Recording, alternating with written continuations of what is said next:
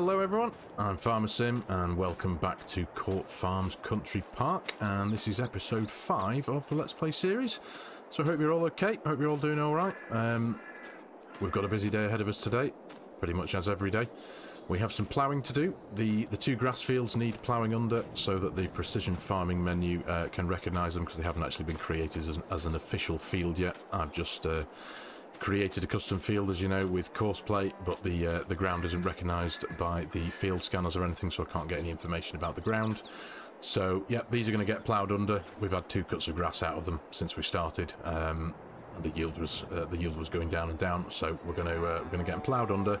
I'm going to the plan is anyway, I'm going to put some linseed in this field, um, and we're going to keep the big one there next to the grain mill as grass, as that's going to be the essentially the food supply for, for the cows. So that's uh, that's some of the work we have to do today. Um, what else have we got to do? Uh, I need some money. Uh, that's what I need. Um, if I bring up the HUD, um, you'll see there I now only have £3,203 as I have repaired the Fendt. Uh, as some of you may know, if you've watched the previous episode, I spent a bit of money and repaired the Massey uh, and I repaired the Ford, um, but this one needed about 2800 quid thrown at it to repair it, take it from about 50, 50 odd percent damage back to zero. So that's now uh, fully fixed, as it were, and ready to rock and roll. Um, I've done a bit more cleaning. I've given the weeder, uh, the the weeder and the uh, field roller got a clean. I still haven't done the slurry tanker, uh, but I did give the uh, the Richard Western trailer a bit of a clean. Um, it's a shame I wasn't uh, painting it, but yeah, it uh, it definitely needs a coat of paint, doesn't it? But we'll do that at some point when we have the spare money. Um, right, but yes, and also the cows have had. I think I did three uh, three feed mixes of food for them. So we've started to make a dent in our silage bales here, um, and the the ones that we loaded up in the last episode are 25% through, so they're on their way. Um, the cows are doing well. Their health is at 100%, their sexual maturity at 72%. They have 43, just under 43,500 litres of food. Uh, they're producing milk a bit more now, 559 litres. Uh, they're still fine for straw, and they're producing slurry there, 1,212 litres, so that's all good. Um, now, I need, uh, as you can see there, I have uh, on the top of the screen the, the, the, contract HUD. I've taken on another three uh, silage, grass silage contracts um, because I really need to get some money into the account. What I plan on doing, I need to get myself a some form of manure spreader um, deal with the manure that the cows are producing. Um, as I think I've established, there isn't actually a manure pit. It's, this, the whole thing is a manure pit. So there is, there is a there is a trigger in here um, sits about here, so I'm hoping that I can reverse a when when I do get hold of one uh, a manure spreader, reverse it into here, and I might be able to auto fill it. But if I can't, I'll need to get myself a manure fork as well. Um, so I'm going to need uh, I'm going to need some money to get a manure trailer spreader uh, and potentially a manure fork if I can't do it by uh, automatically with the trailer in there with the trigger. Um, and I need what I also want to do, uh, as I mentioned in episode one, and I've not really done a great deal about it yet either, is some sheep. I want some sheep to start producing wool, um, so I need some money to get hold of a, a few of those as well. Uh, I'm not sure how many yet. We'll cross that bridge when we come to it, and we'll, we'll base that on how much money we earn from these three contracts. Um, if I bring up the menu here, let's just pop to the map. Um, I have got a contract. Where we are? Where are we? Field 32 here, and field 67 here, and field 130 here. They are all the same silage bale contracts, and they are all going to the same sell point, which is over here. Uh, tall trees bales. So, uh, but what I plan on doing, I'm going to because you've also you've seen me do a few uh, bale contracts already uh, so far in the series, so I plan on getting them done off camera, as it were. I'm going to get all three done.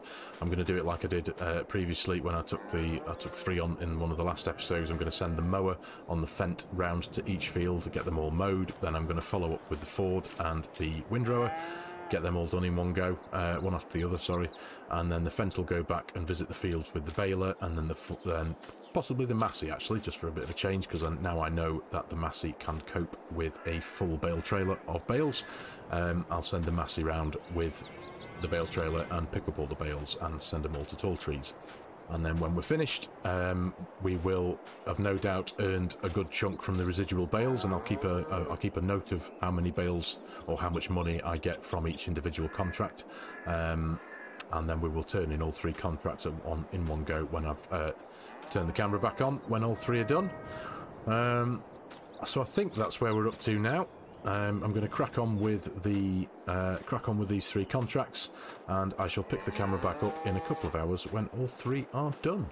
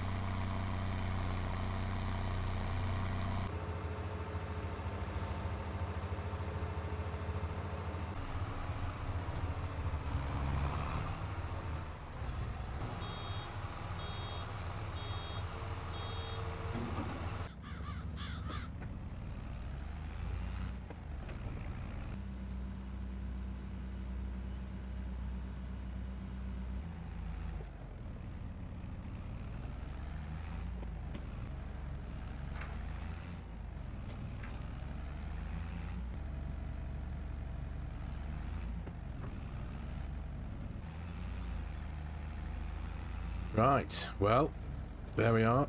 That wasn't bad for, what, two and a half, three hours work? It's more than more like two and a half, I think. But yeah, we have done pretty well out of that. Let's just turn that off. Oh, bit of peace and quiet again. Right, well, we have made a staggering amount of money from those three contracts. Uh, just from the residual bales alone, we have made £28,780, which is absolutely incredible. Um, so now I am going to jump into the contract uh, menu itself, and we're going to collect, collect, collect. Boom. £58,065. That is the most money I've ever had on this series so far, so that's wonderful. Let's, in fact, let's just jump in here and pop the bale trailer back where it belongs for now. Which is just in there. But yeah, I've uh, I feel like I've got this um, multiple silage bale contract thing down to a bit of a quite a smooth operation. It's um, getting the mowing done first with the same tractor, uh, with the Fendt, and then following with the windrower, and as I say, with the the baler and the bale trailer afterwards. Uh, it seems to go quite efficiently. Two and a half hours for three, uh, three fields worth. There we go. So, we're in the money, kind of, 58 grand, just, just shy of 60 grand, so essentially. That's awesome. So what that does mean is that I can now afford to buy myself the uh, manure spreader trailer that I've got my eye on. Um, I'm also going to pick up a manure fork for the front loader for the Ford. Um, and we're going to buy some sheep. Now, I don't think I've got a... I don't think I've got anything I can feed the sheep just yet. Can they take hay? i will have to... I'm pretty sure you just feed them grass, don't you? But uh, either way, while I've got the money, I'm going to get them. Um, so I'm going to jump into the... Let's go to the shop first. I have looked in the sales shop. The, the particular one that I'm looking for is not there. So um, manure spreaders. It's this beautiful uh, Abbey 2550 by 4D modding. That's the one we want. It's the one I want anyway. Uh, let's give it some chunky tyres. Uh, and we shall give it... In fact, we'll just... We won't have a number plate on this one. There we go. Keep it the same colour. Yeah. Lovely. And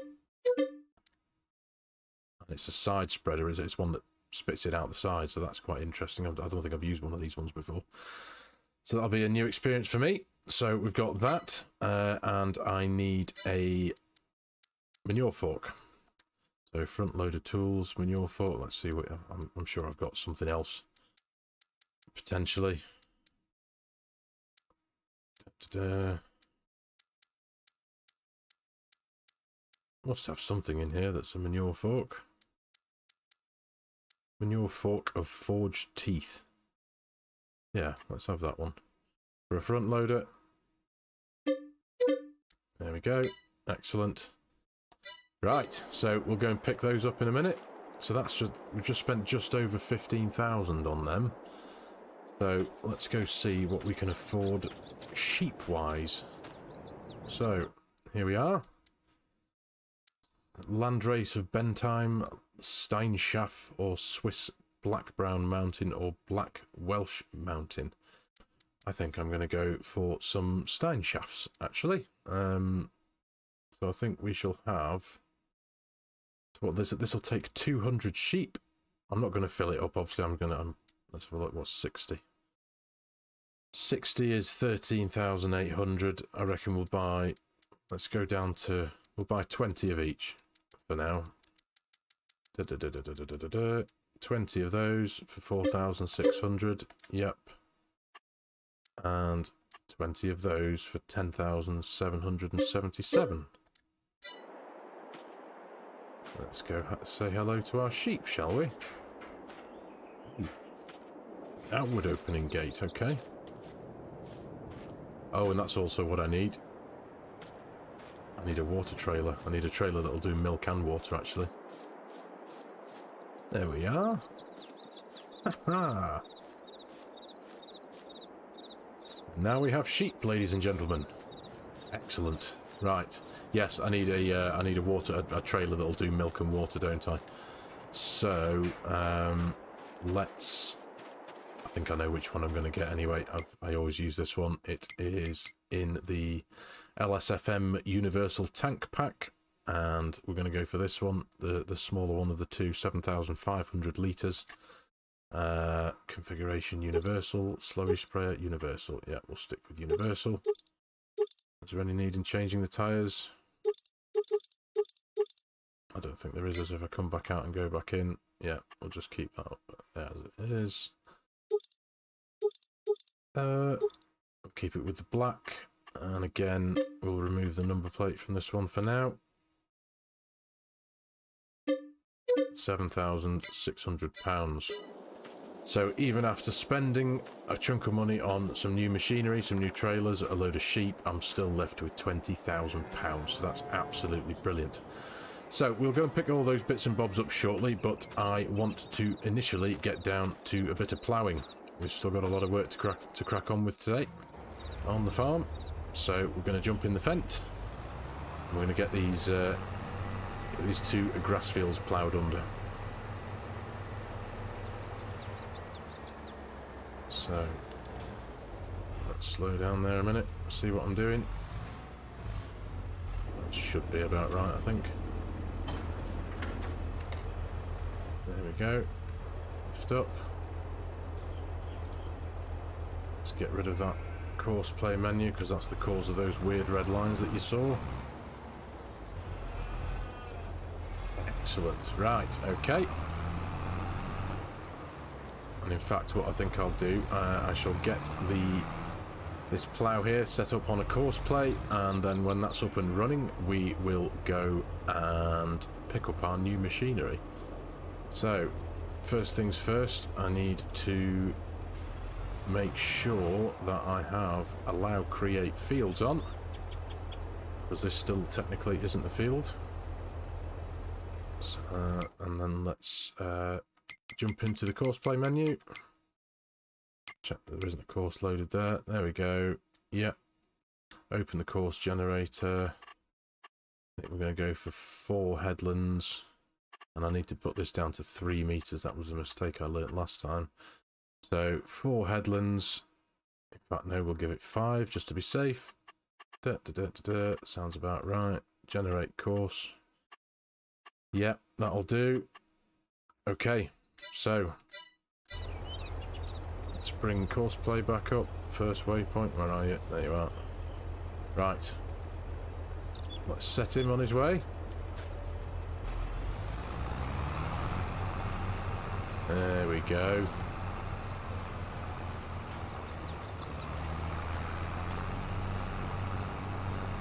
Great stuff. Will actually become registered with precision farming as well now, so once this is done, we will be able to... Oh, don't go too close to that. yeah, we will be able to uh, scan it with the field scanner and get a bit more soil information from that. So while that is doing that, we shall jump over here into the Ford.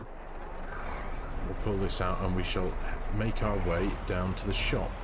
But first I need to load up the front loader and remove the bale spike so that I can pick up the manure fork. There we are. There's that. Now I think... There we go, that's right. So let's lift that up and over out of the way.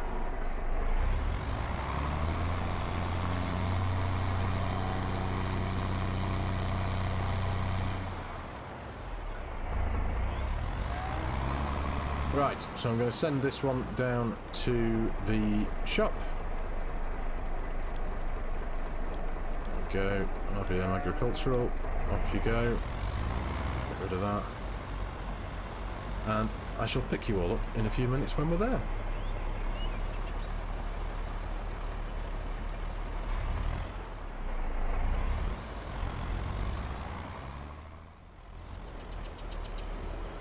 And here we are down at the shop. I think I'm gonna I'm gonna leave the manure spreader there for now because that's quite a big thing. Um, I'm going to use this Ford here to pick up the manure fork and the water stroke milk trailer. So get this attached to the front.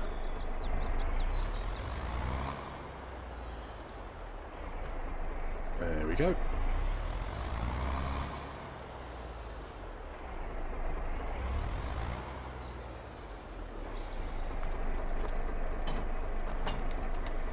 go. Right. Excellent. Let's get that lifted up and out of the way. Safety first and all that. and we shall head ourselves back to the farm and I will pick you up when the Fendt has finished the ploughing in that field and we'll be making our way over to the next field to do the same.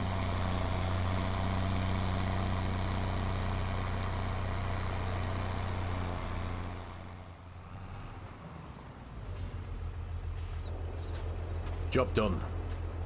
Not a bad job either, I don't, wouldn't say so myself. Um, I do like this much more kind of, I suppose I'd describe it as fluffier looking ploughing texture that this map's got on it. It's really quite cool. Um, but I have also realised that I'm now encountering field stones. Uh, this pretty much has small to medium sized stones in it. Uh, so I need to get myself some form of stone picker. Um, I do have something in mind. I've got one of these uh, downloaded the mod, but I've not actually put it onto the game yet. But it's one of these ones that you mount onto the front of your tractor. I'm not too keen on the, the, the, the base game yellow things, the, the offset ones that you drag along behind you. Um, so I'm going to get one of those installed ASAP. Uh, but it's one that you essentially mount to the front of uh, front of your machine, uh, and it just picks them up like a shovel, uh, essentially. So right, anyway. Um, that's that one done. Uh, we're going to send it over to the other grass field as well um, to get that one done.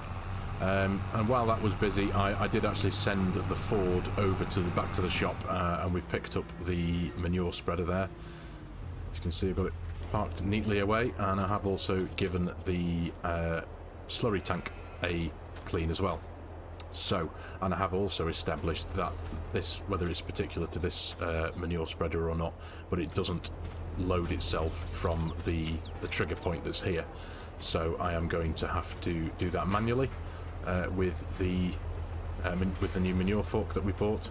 But uh, what I was also thinking of doing, in fact, um, was when I do get a build-up of manure in here, I'm going to pick it up and I'm going to kind of pop it in here and let just let a, let a big pile build up in here and then uh, and then load up the manure spreader as and when I need it. Um, I think that might be the, a reasonable approach for now, anyway. Uh, so, oh, and the other thing I forgot to uh, mention before, and one of the other reasons why I wanted to earn the money from the, especially from the contracts that we've just done, is I need to repair my harvester and header. That was one of the big bills I knew had to be accounted for, uh, and that's pretty much uh, give or take. It's ten thousand pounds. So we're going to take the toolbox over to the other shed where the harvester is. Goodness me, stuck on all sorts of walls here. So we will get this repaired so then we can start using it essentially. I should catch them both if I pop that there. There we go. Right, okay, so repair. £7,573. There we go, and 2,250. Okay. Well, that was a, a, vital necessity. We needed to get that done. Um, now it means we can we can use it, we can move it, we can get it cleaned now that we can move it, um, and we can start earning from it. So as soon as some harvesting contracts appear, we can get them done. Um, and we're ready for our harvest when that happens in a few months' time, which is all good. So, let's get through this door. Goodness me. Stopping me from getting through that door. There we go. Pop fuel box down. Right. Excellent. So, we're going to get the Fendt back into the other grass field and get that ploughed under and then for that I think I might very quickly jump in and out of the game I'm going to get the uh, this particular stone picker loaded up so I can get that purchase. It's, it's not an expensive thing. I think they're only a thousand pounds maybe give or take a bit. Um, oops. But uh, yeah we'll get that sorted and then we've got the equipment we need to get the stones picked up. Um, we'll go from there. So Let's get this unfolded again. There we go. We shall... I think this has still got the previous course loaded in. So let's... Where are we? Create job. There we go. Course generator. Boom, boom, boom. Yep. Excellent. Generate field course. Now this one's going to take a while, isn't it? Because it's quite a biggie. So, we shall bring up that. There we go. First waypoint. Just check we're right. Yep, there we go. And off you go. Again.